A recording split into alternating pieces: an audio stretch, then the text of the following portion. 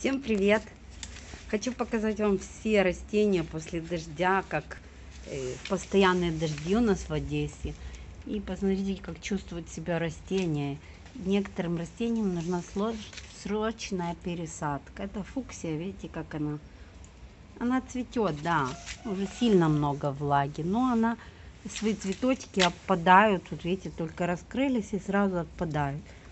И приходится их выбрасывать. Сливы, смотрите сразу трескаются и начинают гнить. Урожай был бы хороший, но дожди уже лишние. Не знаю, как в других городах, а у нас лишние. Вот смотрите, королевская пеларгония. Она вся в цвету была, такая красивая, прелестная. А посмотрите, что с нее осталось. Видите, какая она красавица. Ну, эти дожди, видите, все прогнило отваливаются все цветочки гнилые. Она еще будет цвести. Вот зачатков очень много. Она хорошо перезимовала и расцвела полной своей красотой. Вот пеларгония, посмотрите, какая красавица. Яркая, насыщенная. Шапки огромные. Сорт этот хороший, замечательный тем, что он не сыпучий. Он вот так, э, когда перестает цвести, он мумизируется. Ну, цветочки засыхают. Это сейчас они намокли и стали как квашня. А в самом деле они засыхают и на окно вам не сыпятся. Оно так в сухом состоянии есть. Вы подходите, вот так. И вот таким легким движением обрываем цветоносик. Конечно, жалко этот цветочек выбросить. Ну, что с ним делать? Воду не поставишь, ничего, я его просто выброшу. А эти цветы продолжают цвести, чтобы они не сильно гнили. Я их немного вот так струшу от дождя. Правда, обещают сегодня опять дождь. Ну, хотя бы временно струсить, и чтобы они мне подцвели. Так у меня здесь цветет и растет банановая пальма. Это я вынесла ее с квартиры. Видите, как она разрослась. Нужно ее немножко выкопать лишнее. Вот белый, как красиво расцвел пушистик. Он был такой набитый, а после дождя... Это я вам показываю ампельные пеларгонии. А после дождя он сильно набрался влаги и уже начали подгнивать его цветочки. А так он кучерявый, набитый, махровый.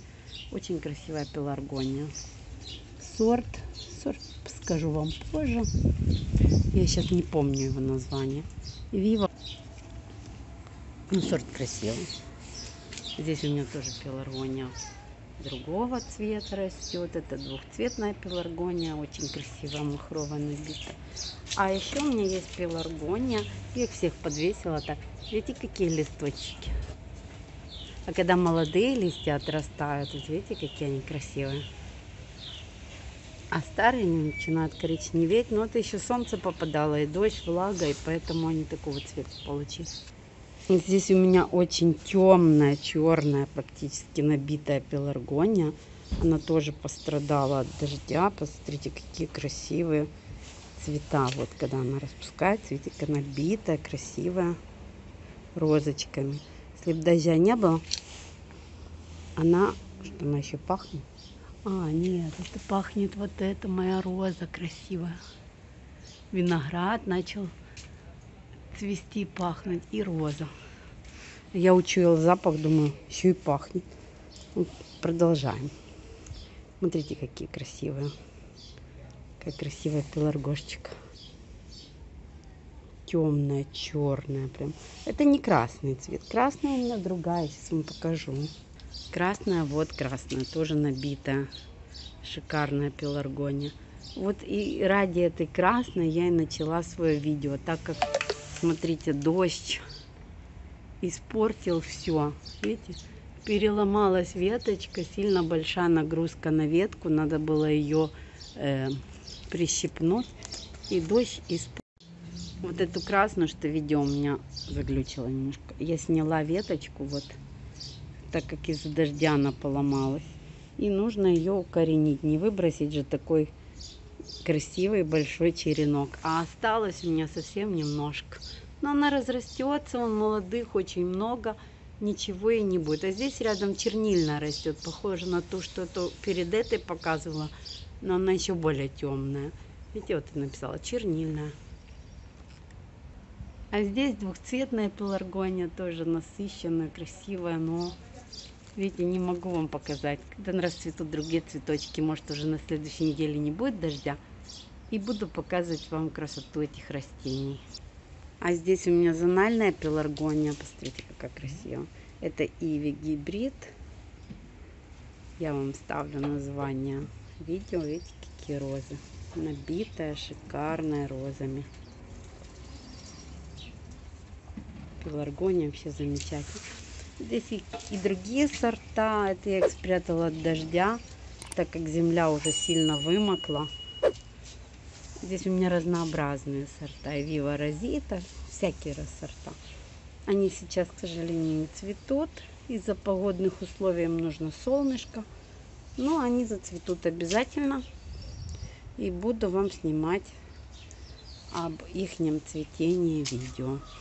А сейчас покажу вам вот эту красоту. И пойдем укоренять. Она выпустила еще один цветоносик. Это растение очень красиво, пышно цветет. Куст такой, ну, стволик у него мощный. И шапки большие. Вот видите? И растение тоже не осыпается, мумизируется. Приступаем к укоренению моей красной пеларгонии. Видите, она тоже разыбутная, набитая, красивая. Она красная такая с темным, красивая, насыщенная. Этот цветоносик удаляем. Вообще цветоносы удаляем. Жалко, но они нам не нужны для укоренения вообще. Они удаляются очень легко, просто обламываются. Э, укоренять можно, ой, снимать черенки можно вот так двумя способами. Просто обломать и череночек готов. Можно обрезать ну, обламывать удобно, она поддается такому черенкованию. Вот это лишнее вот просто подрезать. Это нужно для того, чтобы в земле не было загнивания. Эту пеларгонию можно не выдерживать, э, чтобы подсыхал нижний срез, так как она хорошо укореняется. Вот так, видите, такой маленький череночек. Этот листик можно срезать, можно срезать до половины, чтобы влага не испарялась. И вот такой вот остался у меня еще один. Сколько получилось? Раз, два, три, четыре. Можно еще один сделать. Вот так. Смотрите. Правда, это уже одревеневшая немножко. Не знаю, как он будет укореняться. Ну, он должен укорениться. Видите, тут раздвоился немного. Сейчас мы его подправим. Все. Цветоносики убираем. Это боковой пошел отросточек с бокового. Вот цветоносик маленький, его нужно убрать. Вот я подготовила верховой торф с перлитом в перемешку. И садим. Вот так просто вставили. И все, больше ничего и не нужно делать. Эта пеларгония очень легко размножается и хорошо укореняется. Берем череночек, вставляем до верхнего листочка и ждем результатов. Через две недели она должна укорениться. И я вам покажу, как она проросла. Вот смотрите, еще один. Не надо не прижимать, но можно еще так горшочек прижать чуть-чуть, чтобы земля прижалась. Держать на подоконнике, на улицу не выносить. Вот еще один черенок есть. И посмотрим, какая процентность будет с укоренения. Вот у меня 5 черенков. Этот чего-то падает, не хочет держаться. 5 горшочков. И посмотрим, сколько выживут. Вот эта красота. Будем ее размножать. Всем спасибо за внимание. Всем удачи, всем пока.